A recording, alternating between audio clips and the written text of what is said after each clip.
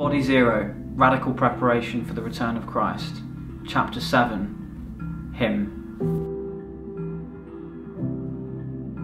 So, if there's one passage of the Bible that I needed to go to to say this is my favourite passage, I don't know what it would be for you, but for me it would be the 16th chapter of Ezekiel. I think there are, there are moments in, I don't know, the life of Joseph where he's reunited with his brothers, or the back end of the Gospels, particularly during the Passion Week, and John particularly, I think just they're very moving. Ezekiel 16 for me, in a sense, probably trumps all of that. Let's just read it again. If you've got your Bible, it'd be great just to read along with me. So Ezekiel 16, 1 through to, we'll see where we go. Again, the word of the Lord came to me, Son of man, make known to Jerusalem her abominations, and say, Thus says the Lord God to Jerusalem, your origin and your birth are of the land of the Canaanites. Your father was an Amorite, and your mother a Hittite. And as for your birth, on the day you were born, your cord was not cut, nor were you washed with water to cleanse you, nor rubbed with salt, nor wrapped in swaddling cloths. No eye pitied you to do any of these things to you out of compassion for you. But you were cast out on the open field for you were abhorred on the day that you were born. And when I passed by you and saw you wallowing in your blood, I said to you in your blood, Live! I said to you in your blood, Live. I made you flourish like a plant of the field, and you grew up and became tall and arrived at full adornment. Your breasts were formed, and your hair had grown, yet you were naked and bare. And when I passed by you again and saw you, behold, you were at the age for love, and I spread the corner of my garment over you and covered your nakedness.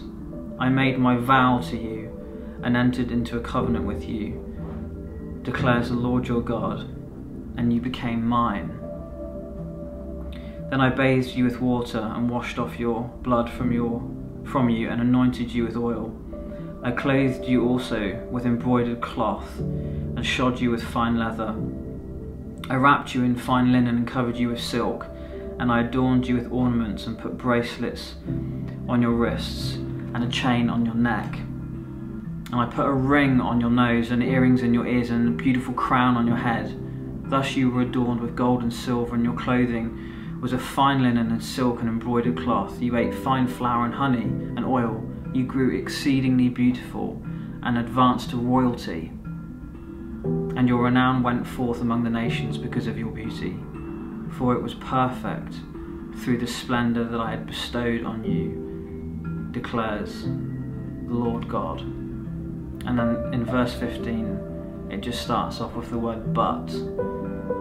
But you trusted in your beauty and played the whore.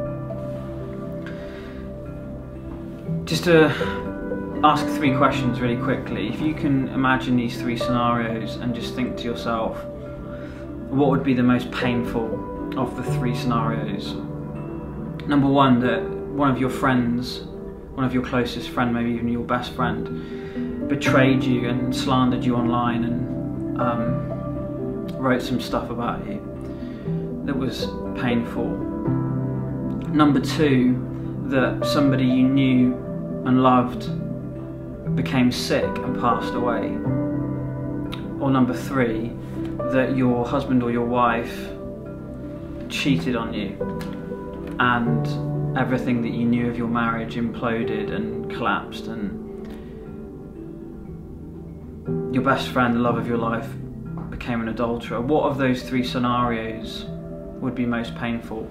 And here's what seems obvious to me as an answer, and this isn't to minimise in any way the pain of the other two scenarios, one and two, but there is something particularly painful, and I think is that the absolute apex of the human heart's ability to absorb pain, and that is around the whole issue of covenant and marriage. There is nothing more painful than I can imagine than for Mary, my wife, my beautiful, stunning bride, to leave me for another lover or another series of lovers, or for Mary to go into Edinburgh and set up a, a new brothel franchise. There would be nothing more painful if that was to if that happened, as unthinkable as that is. I would rather die. I would literally rather die. And in this chapter in Ezekiel 16, we talked earlier about divine pathos and that grace on the individual and on the church to empathize and suffer with just a little bit, it's just a, just the smallest fraction of what it is in the heart of God for His people. This is the, if you like, the epicenter of the identity of the coming King. He's coming not as a, he's not coming as a um, as a, a good teacher. He's not coming as a prophet only. He's coming specifically as a bridegroom king you know that's not a metaphor. He's not going to be a metaphoric bride, bridegroom. There's not going to be a metaphorical wedding supper of the lamb. They will be literal. And so this is the center the absolute center of the suffering heart of god for this this kind of like it's a blend of parental but also um, romantic um, brotherly sisterly. A, there's kind of like a a montage of relationships here in this passage from Ezekiel where you see this baby being lifted from the, the grit and the dirt and the blood and the mess and being cleaned and being adorned with every conceivable blessing to grow up through puberty into this stunning bride who is then enters into this covenant, marriage covenant with her bridegroom. And then as we just saw in verse 15, she'd been in this place of death, no one had loved her, no one had cared for her, and yet this bridegroom figure, this kind of parental, fatherly, godlike figure comes along and just prophesies and speaks live to the baby. And yet, in verse 15, it paints this picture that I've just hypothetically painted of a bride leaving her bridegroom, or of all the opposite way around, a marriage breaking down, the tragedy of covenantal breakdown. In verse 15 of Ezekiel 16, but you trusted in your beauty and you played the whore. And today in the church, in the state that the church is in, as, as we're seeing, confused and complicit in so many theological heresies, confusion, etc., etc. It's this, it's this analogy that runs, in a sense, throughout the whole Bible of spiritual adultery, spiritual unfaithfulness.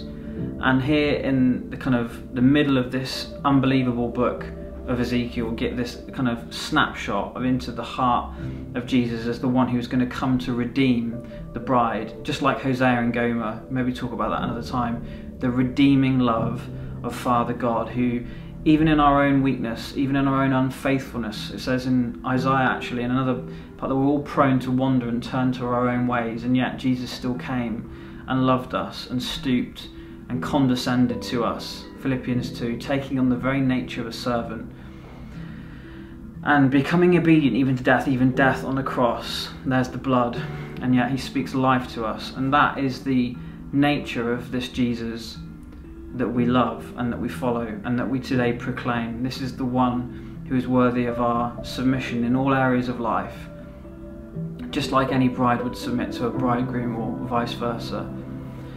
And so I'd encourage you just to dig into this. It's a, it's a deep, powerful passage of scripture and emphases running through actually running through the whole of this book body zero is that jesus is not not a hippie coming on a my little pony. He's actually the coming bridegroom. Out of his mouth will come the sword of his word. His name is faithful and true and he comes to make war. That's what it says in revelation 19 he comes to make war on every enemy of god.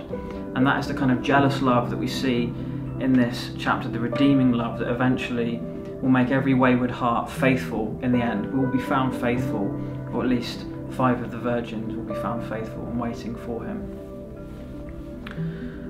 Father, thank you for your word again today. We thank you that you invite us to study your word and to go deep into your word and to reflect and to chew it over. Thank you for the way that you've spoken to each of us over our lives to in certain bits that we can point to and we just know that we've met with you in the pages of this book. And I pray especially for this bridal paradigm in this chapter. It really is who you are. It's your premier, it's your, it's your premier identity. It's you are the bridegroom, Jesus, and there's so much in that that we don't understand from a Jewish context, from an ancient Jewish context. And so I pray, Holy Spirit, particularly today for the UK church. Not that we would be an echo of other ministries in other countries, but that you would reveal uniquely, in a sense, to the UK church what it means to anticipate the coming of the bridegroom king. I pray particularly for men today, the most powerful men on the face of the planet are those who know you as the bridegroom, who understand that your love, what it means to be, to have a husband in heaven,